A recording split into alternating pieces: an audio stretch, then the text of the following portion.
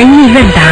啊，师傅，有时我念经时候，我心的一有好像有一个结打不开的，什么意思啊？心里有个结打不开，也就是说，你做任何事情，念经也好，修心也好，啊，在处理人间问题也好，因为我们很多问题不是说很顺的，等到做这件事情做了不顺的时候，突然之间嗯你就有一个结上来了。嗯